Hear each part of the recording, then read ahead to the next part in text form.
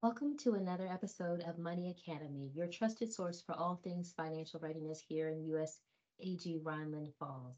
My name is Monique Waddell, one of your personal financial readiness specialists here at Kleber Kaserne, here to bring you some information about planning for the holidays, essentially your money during the holidays and how to help yourself throughout this season to not have what we call a financial hangover once the season is over.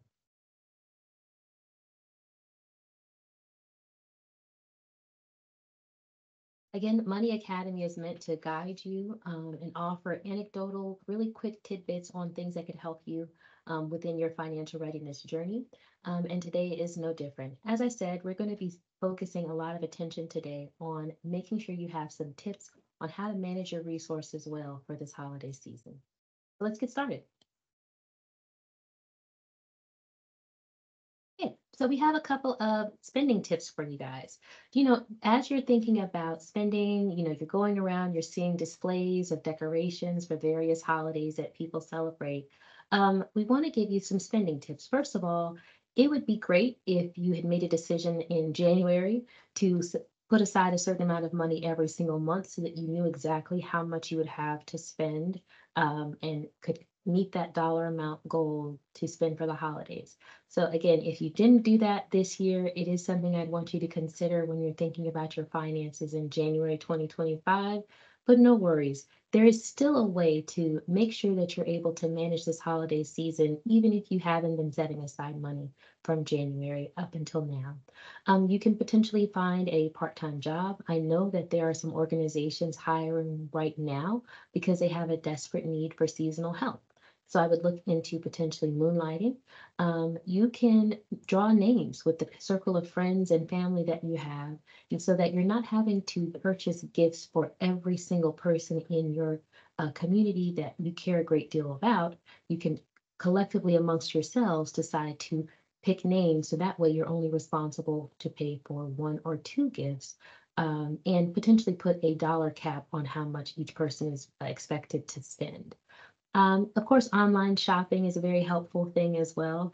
Uh, if you have those brown boxes that show up to your house regularly or to your APO box, just knowing that sometimes shopping around, comparison shopping is going to be something that's going to help you as well.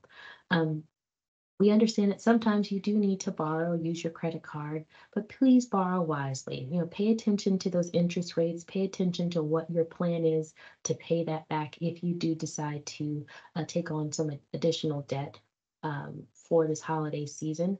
And then if you're not able to understand that you can budget for purchases. Um, sometimes, depending on um, how you you plan your resources, you can catch some of the after holiday sales to help you plan for next year as well. So you can purchase those gifts and set those aside for gift giving throughout the year. And then understand that there might be bargains based on weather conditions, and what's going on in the local community. You might be able to take advantage of some deep discounts on items that merchants are trying to um, unload for the through the holiday season. I'd also encourage you to use coupons if you have those available, discount codes online. Take a moment to research just a bit. Now, if you want a template to have a holiday spending plan, we actually like to provide this for our clients here at Kleber Kaserne and Smith Barracks. Um, it's a holiday spend plan where you actually um, set and get clear about who the people are that you're going to actually be buying gifts for, how much you're willing to spend based on your budget, and then getting a clear idea about what is it that they're looking for. What do they actually desire, their sizes, the colors that they like, and the stores they prefer you to shop at. Once you have this information, you want to go ahead and estimate what you plan on spending. And then once you actually make that purchase, make sure you're documenting what you actually paid. Um, so that way you're clear about whether or not you're adhering to the budget that you set for yourself. You also want to make sure that those little things can add up, like those decorations to make your house a home. Um, for my family, we celebrate Christmas and Kwanzaa. So having Christmas trees, lights, those types of things are really important, but also things like having a kinara and the various things that we use to celebrate Kwanzaa are important to our family. We know that there are people who are celebrating a variety of holidays, and whatever it is that you and your family celebrate, we just hope that with the resources that you have, you're able to make it extra special for you uh, and your families. Again, this is the second page just to continue on. Again, it's a template that we have available for you here within Army Community Service. Um, and just remember that the best gift that you can give your family is actually financial stability. And so sometimes it may be that you make a decision that we're not going to exchange gifts this year. We're going to go on a nice trip, or maybe not as many gifts, uh, but just understanding that time of togetherness. Um, even if you're a single soldier, finding people that you, you consider to be your community and making sure that you have uh, the celebration that you desire for yourself.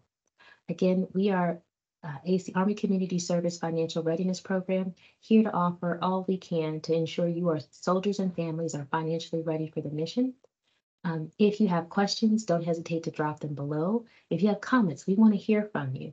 Um, and then also just to kind of highlight, we do have Money Academy happening every Wednesday here at Army Community Service at Kleber Kaserne at 12 noon every Wednesday. Give us a call. You can sign up for that class. And if you are newly coming into the area, we also actually offer a smart voucher workshop every single Friday at 1300. We look forward to working with you and helping you. Please don't hesitate to reach out to call uh, to, so that we can either work with you one-on-one or we can come out and talk to your unit. Just let us know. Take care and be well. Again, Monique Waddell. Bye, y'all.